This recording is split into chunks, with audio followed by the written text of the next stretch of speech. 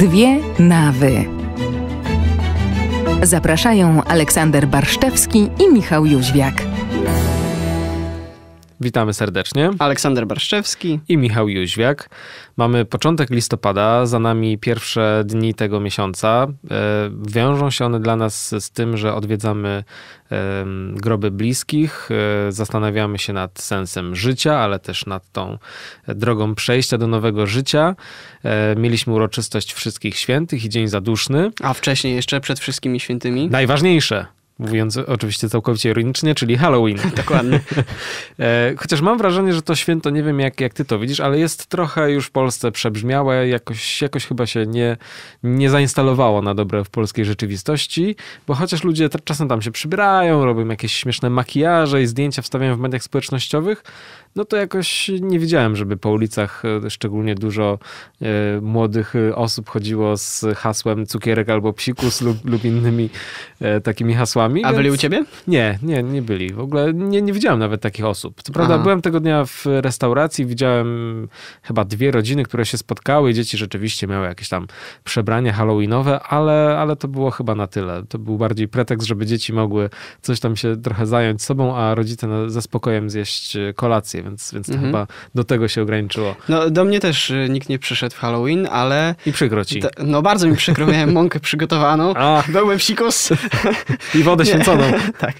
Nie, no oczywiście żartuję, ale mam wrażenie, że tak jak przyjęły się powiedzmy te stroje, to znaczy jakieś tam przebieranki i faktycznie no, fotki w, w mediach społecznościowych i tak dalej, e, tak e, nie przyjęło się to chodzenie po domach, ale wydaje mi się, że to, to się wiąże trochę z naszą kulturą. W sensie e, w Stanach Zjednoczonych, no jak dzieci z sąsiedztwa biegają mhm. sobie po ulicy, no to to jest zupełnie co innego niż u nas. My nie jesteśmy tak chciałbym powiedzieć społeczni, ale to, to nie do końca to. My nie wiemy, kto mieszka za ścianą po prostu dlatego. Bardzo często tak. No, niestety, może to jest y, przykre, ale y, no, ja akurat teraz mam taką sytuację, wprowadziłem się może, może dosyć niedawno, ale jeszcze się z sąsiadami jakoś blisko nie poznaliśmy, chociaż w windzie się y, mijamy. No więc, y, więc coś w tym jest, że mm, jakoś chyba nie ma takiej, y, takiej potrzeby socjalizacji y,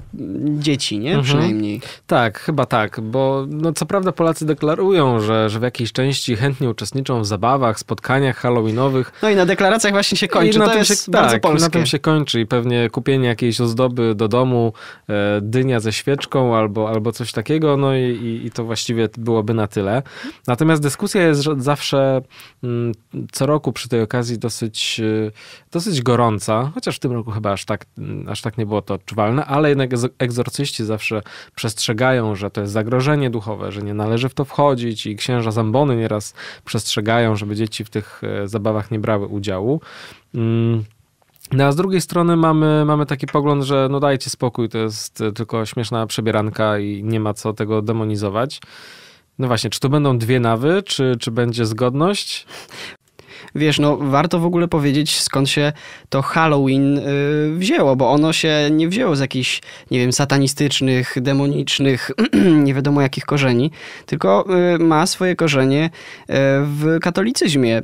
Przed reformą starego kalendarza, kiedy była jeszcze stara liturgia, tych, tych oktaw, wigilii i tak dalej, i tak dalej, było dużo więcej i przed wszystkimi świętymi była właśnie Wigilia wszystkich Wszystkich Świętych. E, po angielsku czy irlandzku w sumie e, nazywało się to All Hallows Eve. Mm, no i jak to się wszystko e, poskładało do kupy, no to mieliśmy właśnie Halloween. Także to tak, taka etymologia może trochę samej nazwy. Mm, wiesz co, ja kiedyś pisałem w ogóle y, tekst o chrześcijańskich korzeniach y, samego zwyczaju y, Halloween. No i on się wziął w sumie z, z Irlandii i też nie ma żadnych demonicznych konotacji, tylko właśnie katolickie.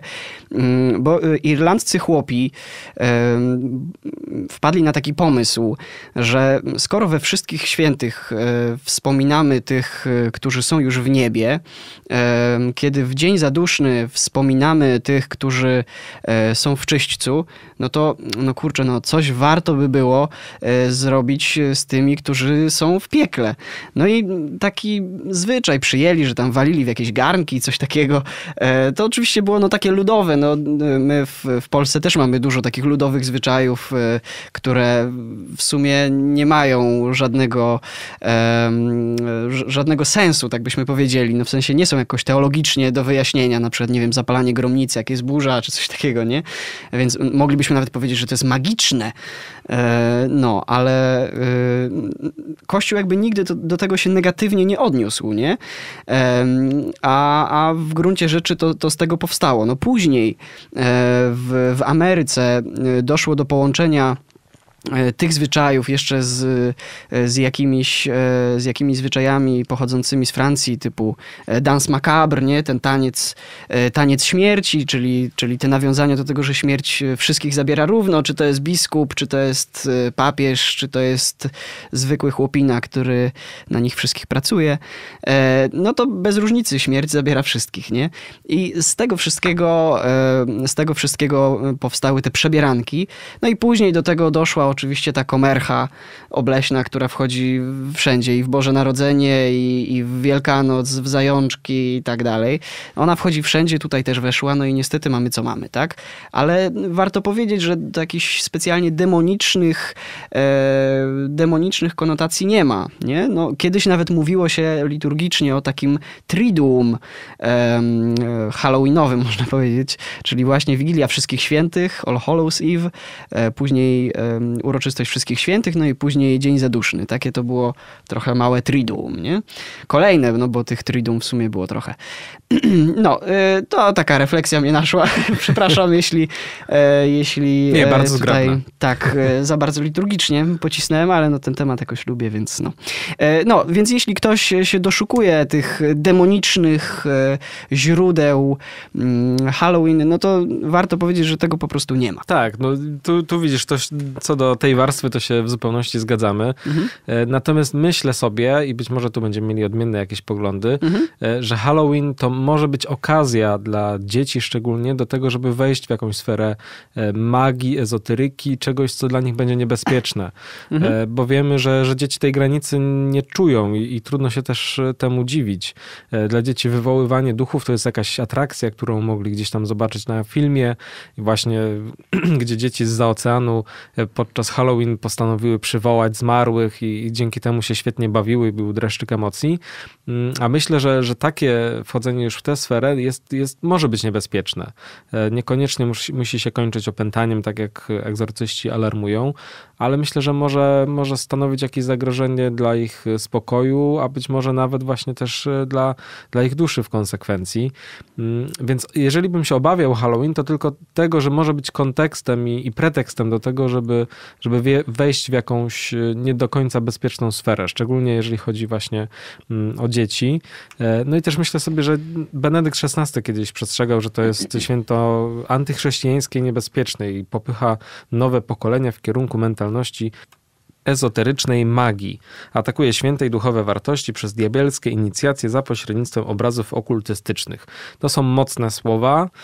E, I właśnie myślę, że jeżeli Benedykt XVI mówił o zagrożeniu, to mówił właśnie o tym kontekście, nie? że może to być pretekst niebezpieczny, ale sama jakaś dynia ze świecą, czy, czy ozdoby, czy jakiś mm, makijaż wykonany na, na dziecku, czy coś, no to jest po prostu kwestia też estetyki, tak? Czy... Tylko wiesz, kto ten pretekst jakby e, powoduje? Kto, kto no tylko z... sama ta osoba, która decyduje się na wejście w taką sferę albo nie. Albo rodzice danej Albo osoby, rodzice. Mhm. Mam wrażenie, że ta taka wojna między Halloween a wszystkimi świętymi, to, ona jakby głównie robi tutaj dużo złego.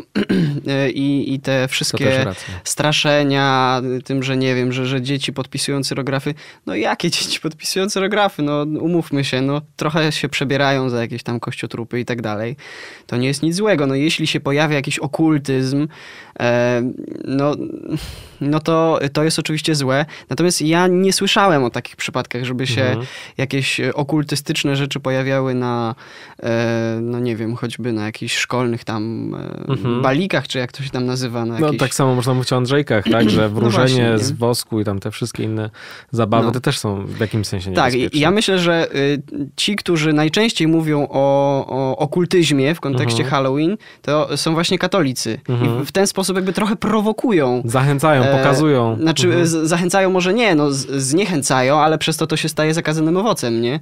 A to w ogóle wiadomo, nie że ma takiego smakuje kontekstu. najlepiej. Oczywiście, a to w ogóle nie ma takiego kontekstu i e, no, tak jak ja bardzo Benedykta XVI szanuję, wiesz o tym, e, tak wydaje mi się, że on mówił e, nie tyle o samych przebierankach na Halloween, Mhm. tylko, tylko o tym, jak niektórzy wykorzystują to święto. Tak. A to jest oczywiście już zupełnie co innego. No i faktycznie wiemy, że są okultyści, są, no nie wiem, jacyś tam sataniści, którzy, którzy próbują to wykorzystać. E, No, ale umówmy się, no nie ma tego w przebierankach. Mhm.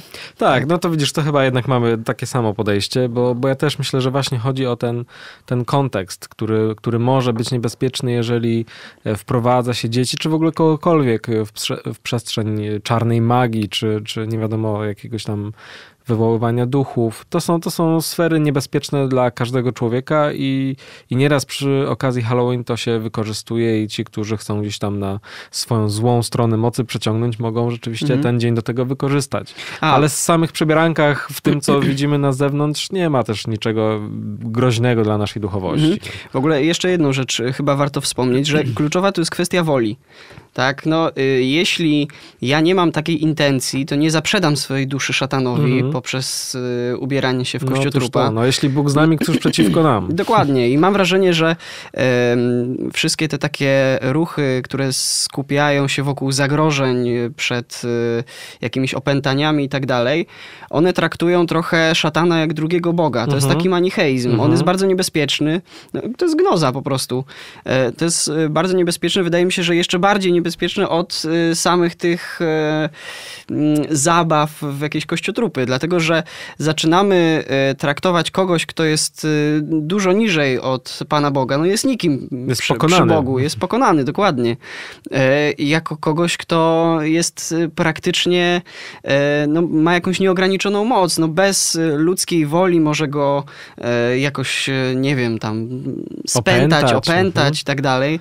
No, no, no nie ma czegoś takiego. No i o tym też mówił ksiądz e, Strzelczyk, zdaje się, Mhm, tak. w jednym z wywiadów, e, komentując tam jakieś doniesienia miesięcznika Egzorcysta, zdaje się. E, To też jest, myślę, duży temat, moglibyśmy go kiedyś, moglibyśmy go kiedyś rozwinąć. E, No, no i, i też mówił o tym, że no jakby kluczowa jest kwestia woli, nie? Mhm. No dokładnie, bez naszej woli zły nie ma do nas dostępu. To też warto sobie podkreślić. Jeżeli jesteśmy w stanie łaski uświęcającej, jeżeli się modlimy, przyjmujemy komunię świętą, no to nie ma dla nas żadnego zagrożenia. Jeżeli my sami nie wchodzimy e, w sferę zła, no to ono nie ma do nas dostępu. To kiedyś ktoś się posłużył takim zgrabnym, myślę, że bardzo trafnym określeniem, że szatan to jest taki pies na łańcuchu. On nie może do ciebie dolecieć, nie może się z tego łańcucha zerwać. Ty możesz oczywiście do niego podejść, zbliżyć się i, i być w jego zasięgu, i on wtedy może tobie zaszkodzić, ale nie może sam z siebie do ciebie dolecieć i, i zrobić czegokolwiek złego. więc, więc warto o tym pamiętać i zamiast też, e, tak jak mówisz, doszukiwać się na, e, w każdym geście, w każdej przybierance demona, to naprawdę bądźmy bardziej radośni i miejmy do tego większy dystans, myślę, bo, e, bo jesteśmy po dobrej stronie mocy i nie, nie mamy się czego obawiać. Nawet, nawet dyni, e, w której jest wydrążony jakiś złowieszczy napis czy, czy wizerunek. Tak, e, w ogóle mówił o tym biskup Milewski. e, Tak, w rozmowie z RMF, nie? Tak, tak, w rozmowie z Mazurkiem, że Halloween e, no, nie jest grzechem. Ale wiesz co ciekawe? To Mhm. tego samego dnia, kiedy słuchałem rozmowy, widziałem Tak. takiego newsa, była depesza, że ksiądz Skrzypczak mówi o tym wprost, że Halloween jest grzechem ciężkim. I sobie myślę, kurczę, czyli w kościele mamy naprawdę poważny problem, jeżeli ksiądz mówi tak, biskup mówi tak, to trochę się nie dziwię temu zagubieniu niektórych katolików, którzy nie wiedzą kogo słuchać. Mhm. E, no właśnie, chciałoby się teraz y, jakąś receptę na to znaleźć, ale Dobrze ukształtowane sumienie. dobrze ukształtowane sumienie, no nie wiem, e, próba weryfikacji w, w nauce kościoła, e, tego wszystkiego, co się słyszy. Ja zawsze się staram właśnie, no może to jest taka natura historyka, do źródeł, nie? E, no i jeśli mam jakieś wątpliwości, no to naprawdę mm, polegam w, jakichś, w jakimś ograniczonym zakresie na autorytetach. Mam kilka osób, które traktuję faktycznie jako autorytety i w miarę na ich opinii polegam, ale tak czy inaczej staram się sprawdzać to wszystko mm, w e, no, u źródeł, czyli w nauce Kościoła, w kodeksie prawa kanonicznego, w katechizmie Kościoła katolickiego, w, w jakichś wypowiedziach świętych, czy ojców, doktorów Kościoła i tak dalej. I myślę, że to jest zdrowe podejście. To znaczy, jeśli mamy jakieś wątpliwości, to lepiej jest szukać u źródeł, e, niż tak bezrefleksyjnie polegać e, na jakichś wypowiedziach, które mogą być mm, jakimś lapsusem, jakimś niezrozumieniem. No różnie to bywa, nie? Mhm. No i tak jak mówisz, biskup Milewski podkreślał to, że uczestniczenie w Halloween grzechem nie jest, ale to nie jest jego wrażliwość, to nie jest jego e, Tak, no nie estetyka, nie zachęca. No i na tym właściwie się skończyło. Ja taką postawę rozumiem, bo ja też bym raczej nie zachęcał swoich dzieci do tego, żeby uczestniczyły w Halloween. E, bardziej podobają mi się, chociaż one też nie mają aż takiego fajnego jeszcze wyrazu. Myślę, że to jest kwestia, którą trzeba mocno dopracować, te korowody czy marsze Tak. wszystkich świętych. Tak, to, tak, tutaj jest tak. duże pole do popisu jeszcze.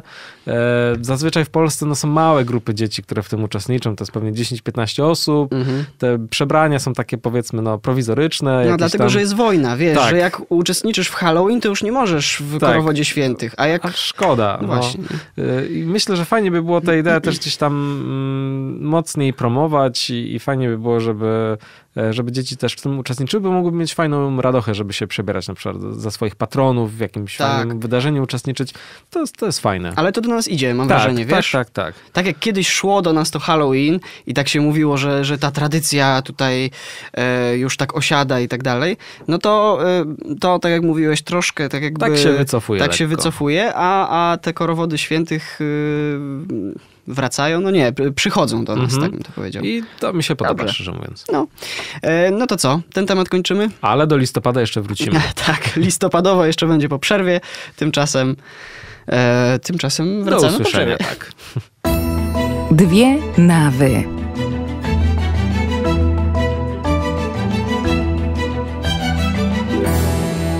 Halo, halo, słuchacie dwóch naw, wracamy po przerwie.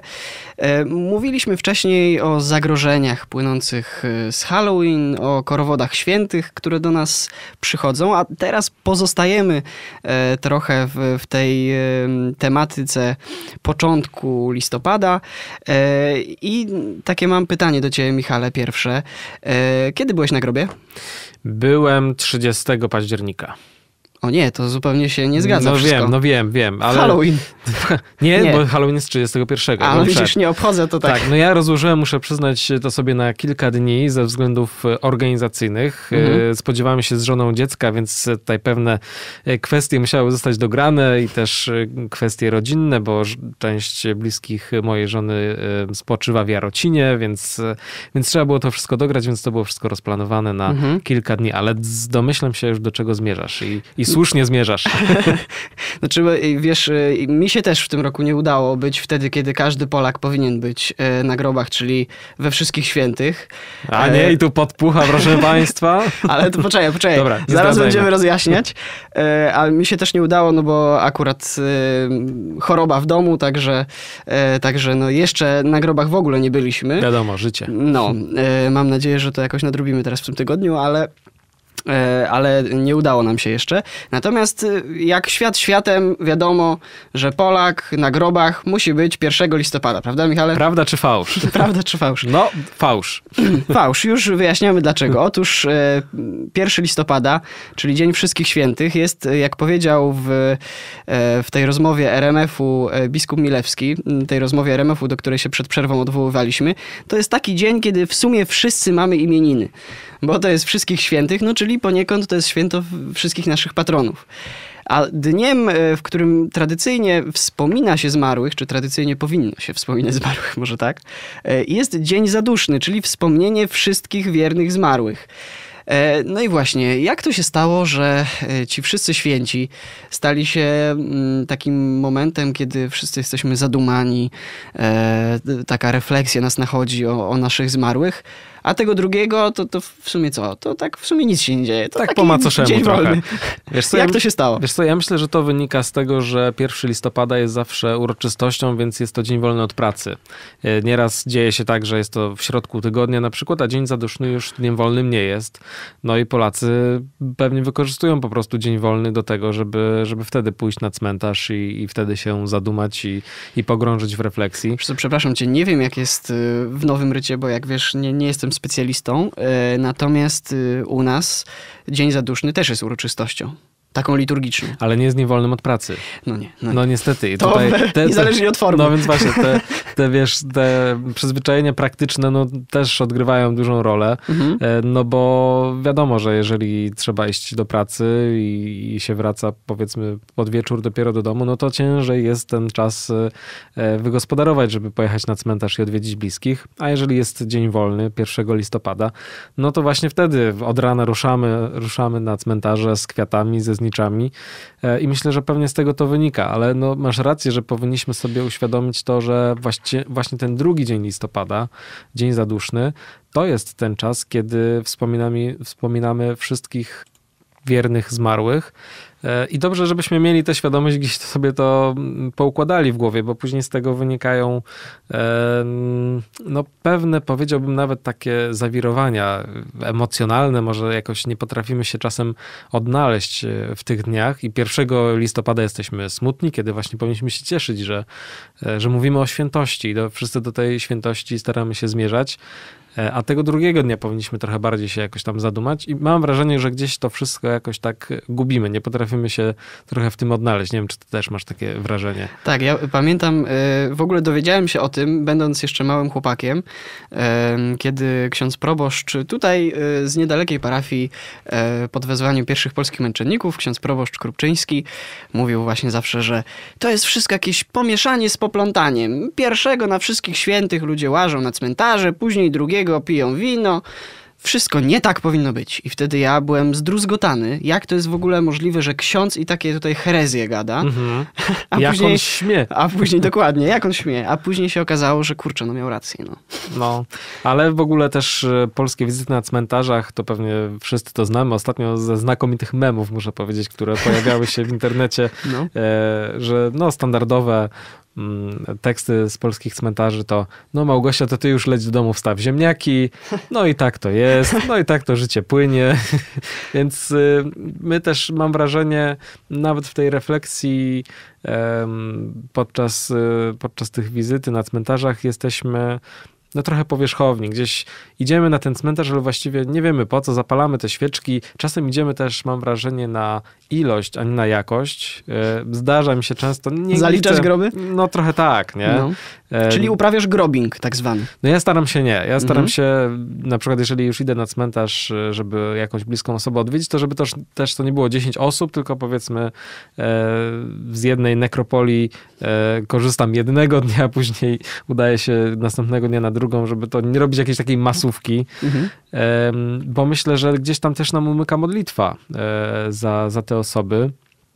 E, I gdzieś bardzo koncentrujemy się mocno na tym, żeby był jak największy znicz, żeby było widać, że kwiaty są, bo jak przyjdzie ciocia jakaś tam, to Tak, sprawdzi, tak. czy kwiaty są. Mhm. E, I, I gdzieś to nam przysłania całą resztę, a warto też wspomnieć, że od 1 do 8 listopada możemy zyskać odpust zupełny za naszych bliskich zmarłych Mhm. i warto to wykorzystać, warto pójść na mszę świętą. Niektórzy w ogóle nie wiedzą, że 1 listopada się uczestniczy we mszy świętej. Mhm. Drugiego też warto pójść i, i w całym właściwie w tym okresie od 1 do 8 listopada mm, warto skorzystać z okazji i uzyskać odpust zupełny, bo, no bo o, to jest przecież najważniejsze, żeby Ten tym odpust- bliskim zmarłym pomóc. Ten odpust to jest w ogóle ciekawa sprawa, dlatego że to jest pozostałość, wiesz co, po oktawie wszystkich świętych. Mhm. Kiedyś jeszcze, e, no przed rokiem 1962, e, kiedy była jeszcze stara liturgia i stary kalendarz, e, no to tych oktaw różnych było, było w sumie dosyć dużo i była Wigilia Wszystkich Świętych. Mhm.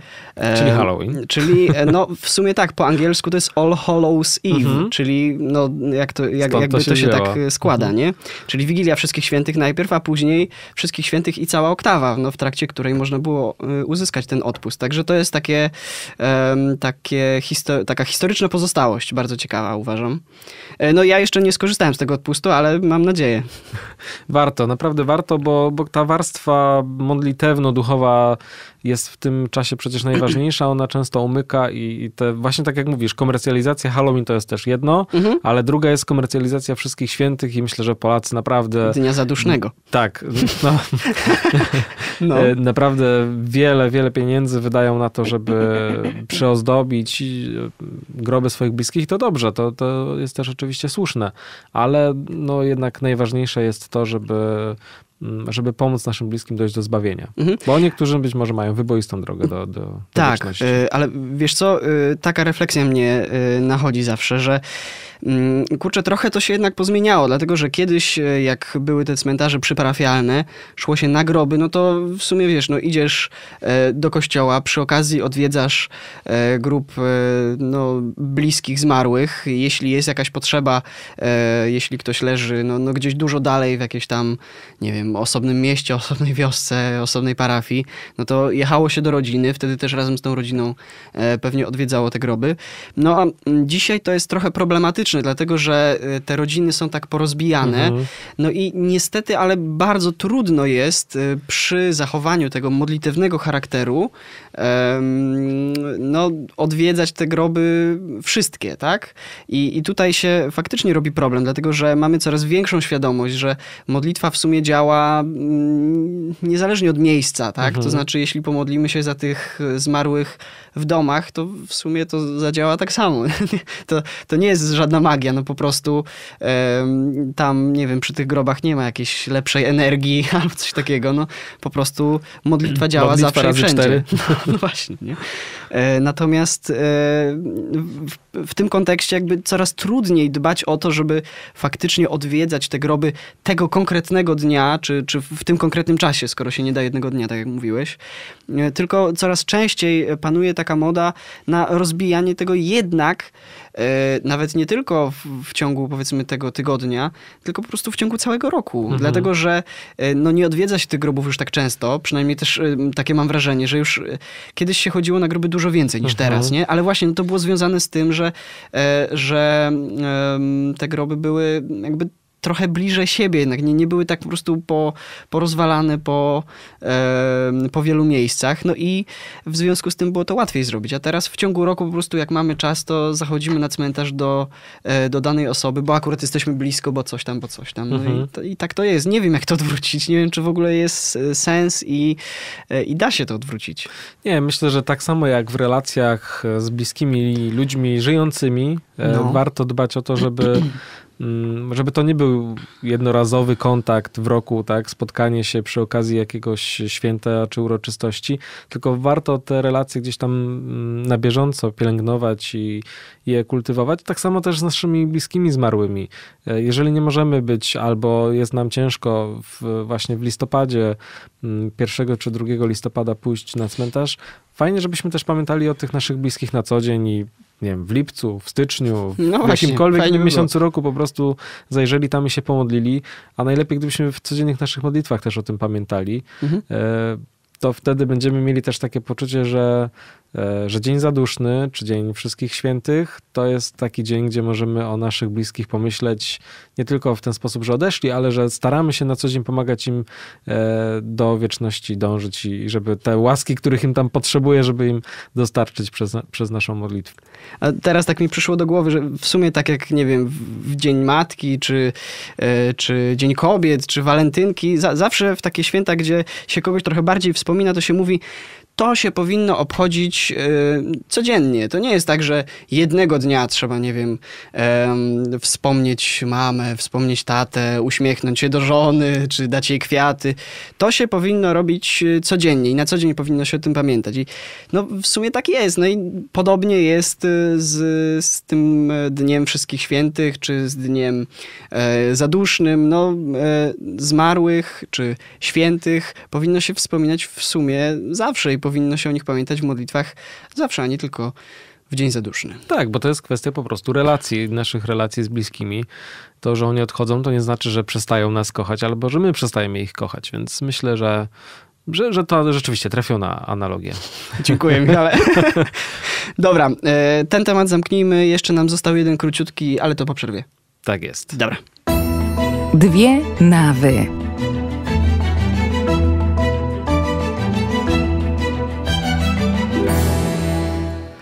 Witamy po przerwie. Słuchacie dwóch NAW. Wcześniej e, tematy stricte listopadowe. Mówiliśmy o Halloween, mówiliśmy o uroczystości Wszystkich Świętych, o Dniu Zadusznym. E, natomiast teraz chcielibyśmy jeszcze na moment e, wrócić do synodu dla Amazonii, który się zakończył, a który wywołuje no, bardzo dużo komentarzy w internecie. Są gorące spory, e, nieraz nawet w ogólnopolskich mediach. Nie wiem, czy widziałeś, ale zdaje się, że tak. Widziałem, niestety. Słynny, Niestety. można powiedzieć, pojedynek księdza Prusaka z Pawłem Lisickim. E, Redaktorem do rzeczy. tak, e, Mhm. w Polsat News. E, No, atmosfera tej rozmowy była bardzo gorąca. E, Dotyczyła między innymi diakonatu kobiet, bo Paweł Lisicki mm, odwoływał się, można powiedzieć, do tego, żeby, e, żeby ksiądz Prusak doczytał, doinformował się w tej kwestii. To brzmiało, szczerze mówiąc, dosyć zabawnie. Mhm. E, bo mówił o tym, że diakonat kobiet to jest droga do kapłaństwa kobiet, e, do jakby święceń prezbiteratu kobiet. Mhm. No ale my tak sobie trochę rozmawialiśmy o tym przed wejściem na antenę, że, że to zupełnie nie tak, nie od tej strony. Mamy przecież w kościele chociażby diakonów stałych i to nie jest tak, że te dziesiątki tysięcy diakonów stałych czeka w kolejce do święceń prezbiteratu. Diakonat to jest, kon, to jest to konkretne święcenie, to jest y, konkretna posługa. Mhm. Jeżeli nawet kobiety zostałyby do, do tej posługi, czy do tego rodzaju święceń, stopnia święceń dopuszczone, no to nie znaczy, że e, byłyby później kapłankami. Mhm. E, Wiesz co, to jest w ogóle ciekawa sprawa. Ja myślę, że e, my się po prostu bardzo przyzwyczailiśmy do takiego e, obrazu kapłaństwa i tych wszystkich stopni poszczególnych kapłaństwa, że, że, że to są po prostu stopnie do tego, żeby zostać księdzem, Księdzem. tak? Mhm. Czyli ten diakonat, no to w sumie to jest taki trochę gorszy ksiądz, to jest taki jego pomocnik, no bo on dostaje te święcenia i później po roku, no to wiadomo, że już dostanie te Tak. święcenia prezbiteratu, no i wtedy będzie takim pełnowartościowym w ogóle duchownym, a tak to jest taki trochę, taki trochę pomocnik, taki giermek. Taki, taki giermek. no. loading, taki 90%. Dokładnie, nie? A kurczę, no to jest zupełnie nie tak. Jeszcze Sobór Trydencki w ogóle zachęcał do tego. E, Sobór Trydencki, to ja się nie pomyliłem, żeby nie było. Tutaj nie, nie mówię o Soborze Watykańskim II, e, tym takim strasznym, e, w ogóle jakimś modernistycznym i tak dalej, tylko tutaj mówię o Soborze Trydenckim. Tutaj tradycjonaliści myślę, że, że, że powinni docenić. E, Na to- pewno teraz e, zgłaszają radio, radioodbiorniki. Mam nadzieję. Nie no, e, jeszcze Sobór Trydencki e, wyzywał, czy miał takie postanowienie, takie wezwanie do tego, żeby umożliwić e, niższe święcenia. E, No to co prawda nie był diakonat, to, to były te święcenia niższe, czyli tam ostiariatu, lektoratu, żeby umożliwić święcenie ludzi świeckich, również żonatych, tak? Mhm. No więc to już było wezwanie z Soboru Trydenckiego. Wtedy to były niższe święcenia. Teraz niższych święceń w ogóle nie ma. E, To są, to są posługi, także no tutaj to, to wezwanie Soboru Trydenckiego jest e, trochę nieaktualne. Natomiast e, Sobór Watykański II umożliwił święcenie diakonów stałych, czyli no, osób, które, czy mężczyzn, którzy są żonaci na diakonów i jest to w sumie powrót do źródeł. Faktycznie, no kiedyś w, e, w pierwszym kościele mm, diakoni byli żonaci. To, to w ogóle nie był jakiś problem, nie? Mhm. E, Mhm. I teraz na synodzie no. dla Amazonii pojawiła się prośba ojców synodalnych, żeby rozpatrzyli to na nowo, czy także kobiety w tę posługę i ten, ten stopień święceń nie mogłoby być włączone. Tak, no ja tu jestem akurat stanowczym wrogiem, bo jestem tradycjonalistą. Oczywiście, no nie można, nie można inaczej.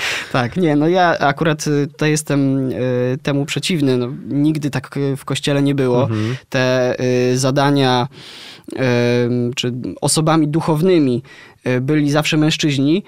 E, Tutaj też e, Jan Paweł II no, wypowiedział się dość stanowczo, e, czy stanowczo to jest może mało powiedziane, no, wypowiedział się nieomylnie, wszystko na to wskazuje, o tym, że te święcenia prezbiteratu są dla kobiet absolutnie zablokowane. No i mam wrażenie, że ten diakonat to jest takie, e, to jest trak- takie trochę falandyzowanie, wiesz, e, naginanie i e, no, robienie nie tak, jak powinno być. Zbliżenie się do tej granicy. W sensie tak, wiesz, wydaje mi się, że to jest jednak trochę polityczne. Nie e, wpatrywanie się w to, jak było i jak rzeczywiście warto by było zrobić w duchu tradycji, e, tylko takie rozpatrywanie mm, od innej strony. To znaczy, zróbmy e, kobiety diakonami i teraz pisanie pod to, pod to jakieś tam legendy, nie? No bo faktycznie no, kobiety spełniały pewne funkcje diakońskie e, i to jest fakt, natomiast no, to, to się wiązało z tym, że na przykład chrzest był przez zanurzenie,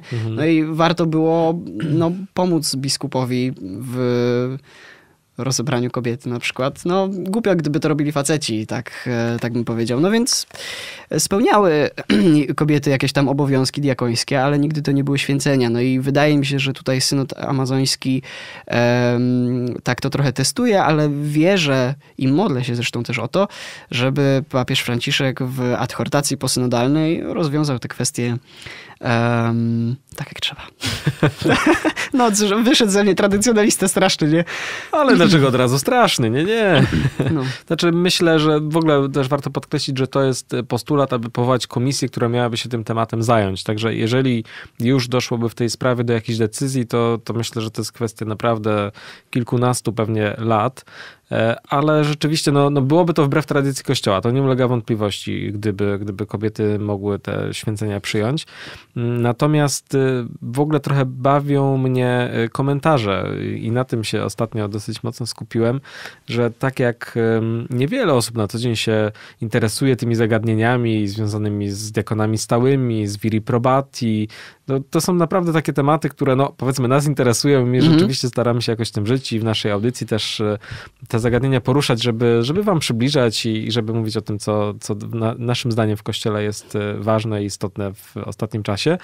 Ale nagle zrobił nam się wysyp naprawdę ekspertów y, i, e, No. i, i takich ym, no, opiniotwórczych e, e, katolickich, ale właśnie nie tylko katolickich publicystów, którzy wieszczą ogromne rewolucyjne zmiany w kościele, że Koniec zerwanie Kościoła. z tradycją, koniec, że jest po prostu dokument końcowy synodu zniszczył kościół. Hmm. Naprawdę no, szkoda, że tak się dzieje, bo to znowu robi no nie tylko zły PR, bo to jeszcze można jakoś tam przeboleć, ale naprawdę robi szkodę i mętlik w głowach y, ludziom, którzy nie orientują się, po prostu gdzieś słyszą Nie muszą się orientować. nie muszą no. się orientować, ale gdzieś słyszą z zewnątrz jakieś opinie, które przestrzegają przed tym, że papież Franciszek znowu chce jakiejś rewolucji dokonać. I tu myślę, że, że trochę jest to zjawisko, o którym już kiedyś rozmawialiśmy, że cokolwiek by papież nie zrobił, albo cokolwiek by środowisko dookoła papieża nie zrobiło, to i tak będzie źle, bo to jest liberał i lewak, który, który chce zniszczyć Kościół. I niektórzy mówią, że jest Zgadzamy się? nie, no nie, oczywiście tu tak e, żartuję, żartuję, żeby, żeby tutaj nie było. Ale smutne to jest, nie? Że, Nie, no pewnie, no. Że przypisywane są naprawdę bezpodstawnie ludziom kościoła złe intencje. To, to jest smutne. Mhm. Naprawdę, ja wiem, że niektórzy mogą się mylić i mogą iść w złym kierunku, bo to się zdarza. Nawet, Nawet najś- papieżom się Nawet zdarza. papieżom się zdarza, dokładnie. E, Ale naprawdę nie idźmy w tym za daleko. Mhm. Ale wiesz co, y, w ogóle to jest ciekawe, dlatego że większość ludzi kościoła, na przykład, y, no nie wiem, kardynał Zen, e, tak, on bardzo stanowczo krytykuje porozumienie, e, porozumienie Watykanu z Chinami i to w takich bardzo zdecydowanych, ostrych słowach nawet. Ale to też jest ciekawe, że on w sumie bezpośrednio papieża nie krytykuje, on krytykuje otoczenie papieża i to też jest ważne, Szczególnie nie? sekretarza stanu. Sekre- no oczywiście, w szczególności sekretarza stanu Pietro Parolina. E, natomiast no, warto to powiedzieć, on krytykuje otoczenie papieża, E, ale już e, widziałem głosy, które mm, jakby na podstawie tych wypowiedzi kardynała Zena walą we Franciszka. Nie? Mhm. No i to jest właśnie takie e, przypisywanie e, złych intencji i przypisywanie jakiejś złej woli osobie, no, która oczywiście bierze za to odpowiedzialność, tak? Natomiast niekoniecznie musi być e, inicjatorem wszelkiego zła w kościele. Mhm. I też powiem szczerze, że bardzo irytuje mnie taki ton, szczególnie obecny, akurat oczywiście abstrahując od, od mojego szanownego kolegi Aleksandra, ale te, ten z prawej strony, z konserwaty- od strony konserwatystów w kościele, Mhm. którzy zdają się każdym swoim tekstem demaskować tę tę całą złą otoczkę i tym, czym myli nam się oczy i konserwatyści mówią jak jest, mówią prawdę. A inni oczywiście kłamią, mydlą oczy i, i próbują zreformować Kościół, ale oczywiście zreformować w całym możliwym złym znaczeniu tego słowa, czyli zaprowadzić go gdzieś na manowce. To też mnie gdzieś bardzo irytuje, bo to znowu zamyka pole do dyskusji, a, a dyskusji najbardziej potrzebujemy w Kościele. To czemu zaprowadzasz ludzi na manowce? Co, Staram, Michale? staram się nie, staram się nie, naprawdę. No nie, to, to pobożnie, dobrze, dobrze. E, znakomicie. Nie, wiesz co, ale powiem, powiem ci szczerze, że e, ja chociaż w gruncie rzeczy, no można powiedzieć, że jestem po tej prawej stronie, nie? Ale, ale też ten, ten ton taki demaskatorski, Teorii e, spiskowy. bardzo mnie irytuje. Ale powiem ci szczerze, ja go widzę niestety, chciałbym powiedzieć, żeby było inaczej, ale, ale ja go widzę niestety nie tylko w, w tym gronie po prawej stronie, chociaż szczególnie, to Szczególnie, nie? Mhm. Natomiast, e, natomiast widzę go e, również w gronie tym, w tej drugiej nawie, No tak, tak, powiem. druga tak? nawa też nie jest bez winy, nie, nie. Tak, no, no są, e, są tacy no, i duchowni, i też osoby świeckie.